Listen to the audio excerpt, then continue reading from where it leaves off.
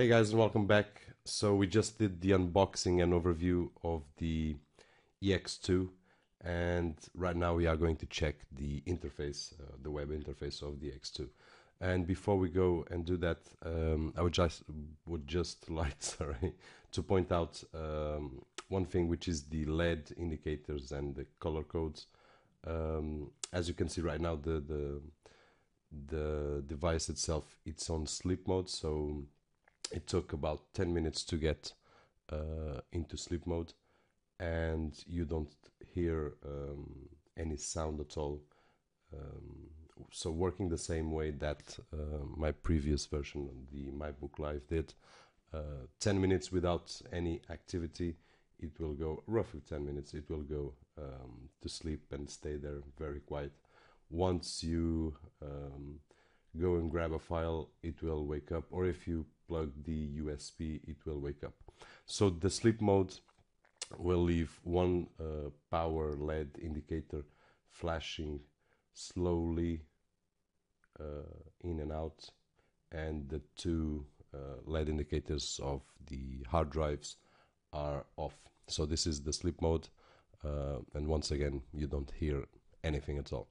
Uh, regarding the color codes, so I found out here on the website of uh, SmallNet Builder, you can check for it. If you check uh, MyCloud EX2 color codes, you will find this site very easily. And they did a great job placing here the color codes. So when it's powered down, uh, it's everything off when it's in sleep mode it's as it is right now. If everything is blue it's because you have activity on the device so uh, lights will flash for the hard drive number one and hard drive number two. If anything is red if you see any red light it's a warning. One of the drives or maybe two are failing so you will have to uh, replace the drives. Uh, it will be very unlucky if if the two fail at at the same time.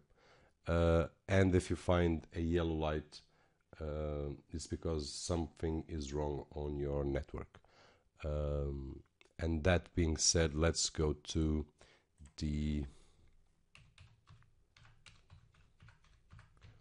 web interface. And here we go.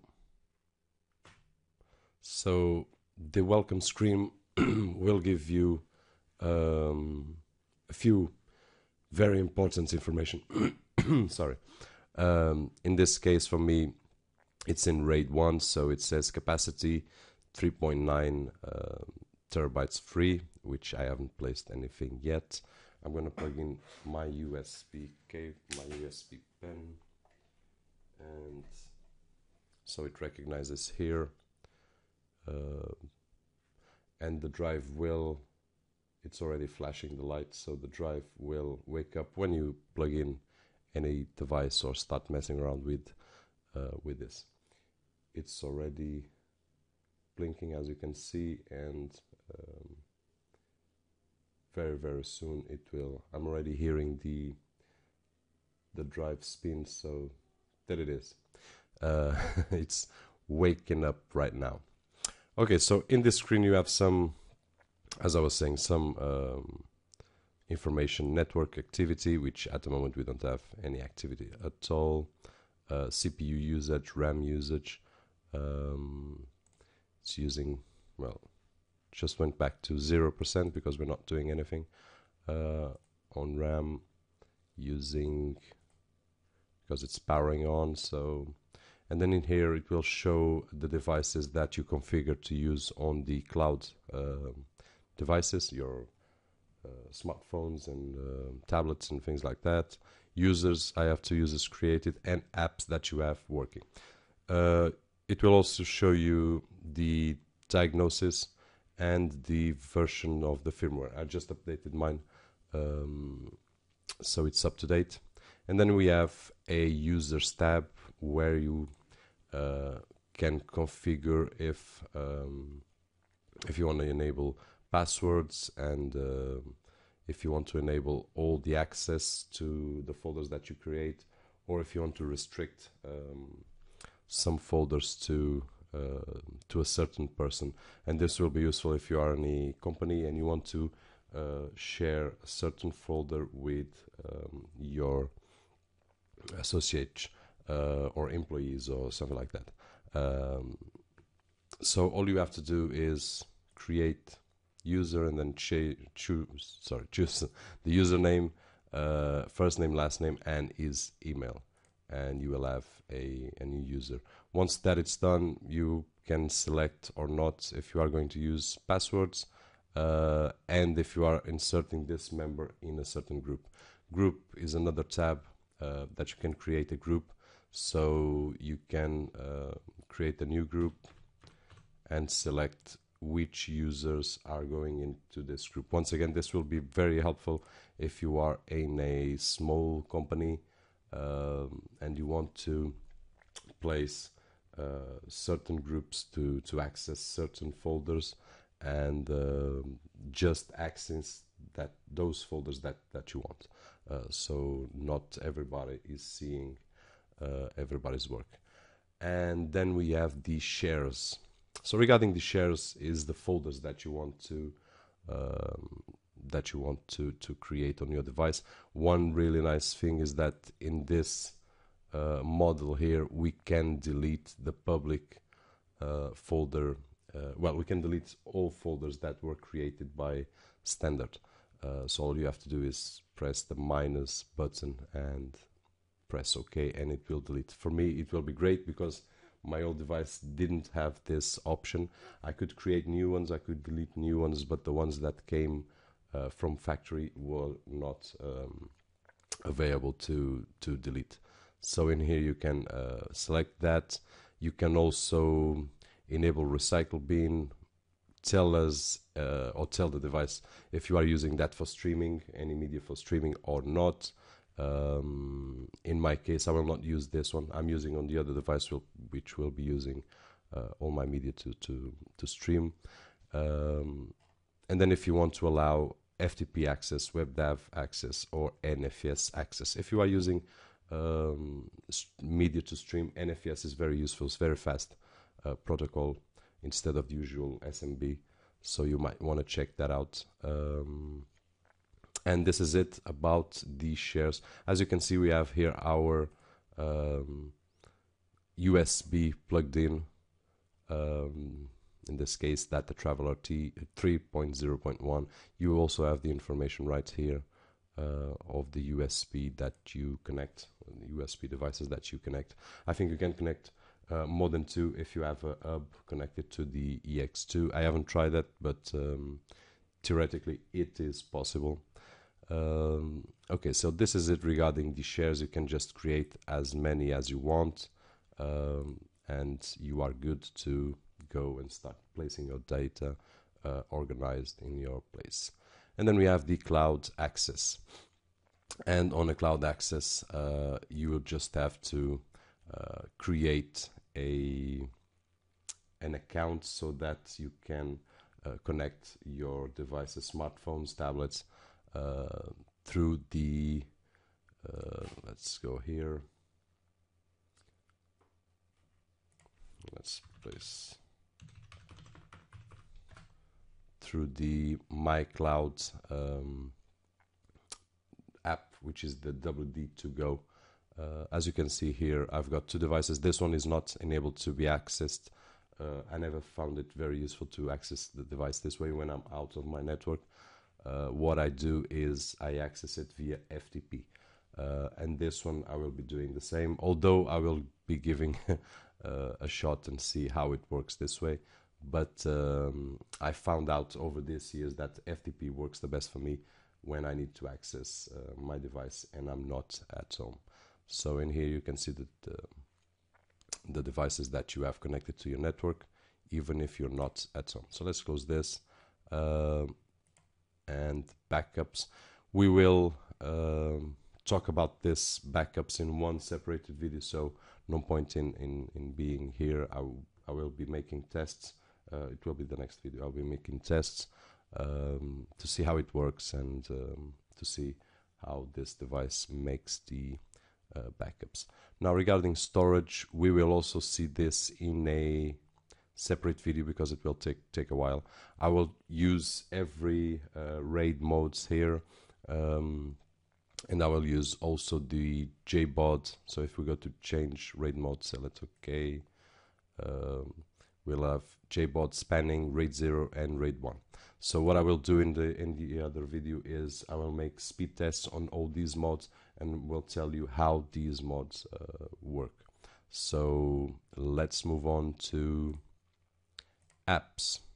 So in here, uh, right away you will have one very useful thing. It's HTTP download. So if you want to make a download over the night, uh, let's say a client sends you a link, um, Dropbox or something like that, that you want to download over the night. Um, it will be useful. You don't have to, to leave your machine turned on. Just place the URL, save to, decide where to, and if you want to rename it. And if you want to uh, backup, of course, you can schedule that uh, download as well. Let's say you just want to download it tomorrow. So let's put uh, the date and the time, and it will start automatically doing that um, download, which is which is pretty useful. Um, you also have FTP downloads and um, same options here. Of course, we'll have to make the uh, login method type. Uh, if you are used to work with FTP, all this information here is uh, useful. Then you have the P2P downloads uh, to you can turn them on and add a torrent file and make the download of that torrent file, uh, hopefully for legal purposes. And you also have the web file uh, viewer. So you can check what it is inside of each of these folders. Uh, right now I've got a 2.2 gigabyte test, which actually shows as 2.10, but nonetheless, uh, which I'll be using to um, to make the speed tests on the video of the different RAID uh, RAID arrays. Okay, and you can press the plus and I accept.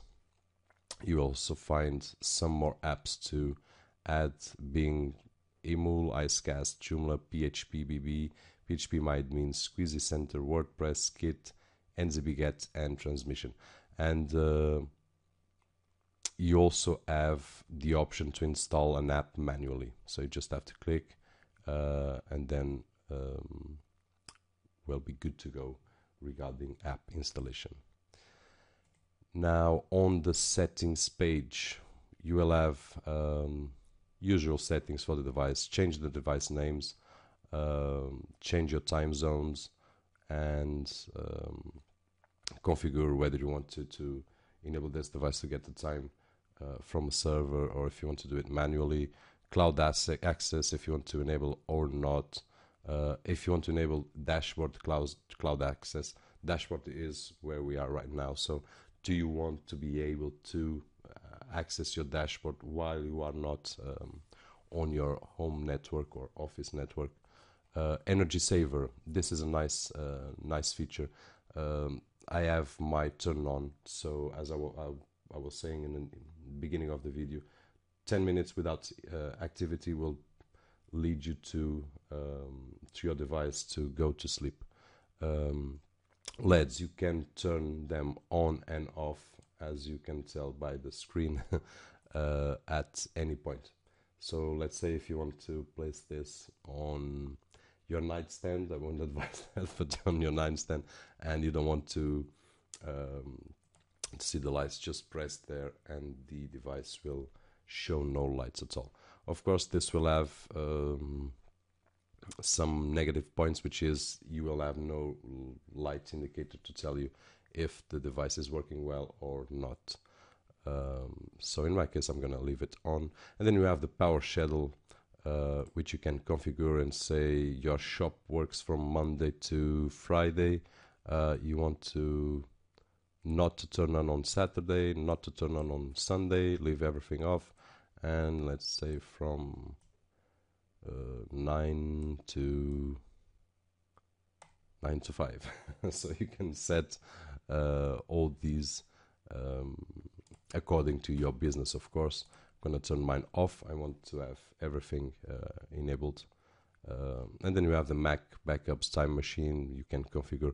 If you use time machine, you are used to it, so you won't need this interface to, to configure your, your time machine. Just create a uh, a folder and um, well, the folder it comes by by default time machine backup, but you can create any other folder with any other name and uh, just configure your Mac and it will make its thing regarding the time machine. And then you have more services, distributed file system, Active Directory, and Recycle Bin. We also have network information. So as we can see here, my IP at the moment for this device, um, all sorts of options, uh, SMB protocols using 2 as device. To be honest, I cannot tell you the difference between 1 and 3. I would have to research. Uh, but I will leave this. I, I, trust Western Digital. If it comes by uh, default, it's all right. Then uh, FTP access, yes. And then you have all sorts of acronyms here. Just uh, just read them. Network UPS. Um, for me, I will be using my UPS to um, to power all my devices. Everything that you see here is powered by two UPS, uh, but um, I will not see the need to connect this directly with the uh, with the device itself. Uh, and then we have the network group. You might want to change the group, uh, remote server access on or off, and port forwarding. And then you have the media, DLNA media server on or off if you want to stream media from this device or not. And then the iTunes. I don't use iTunes, but uh, I find uh, my brother is an iTunes lover, so this might be useful for a lot of people.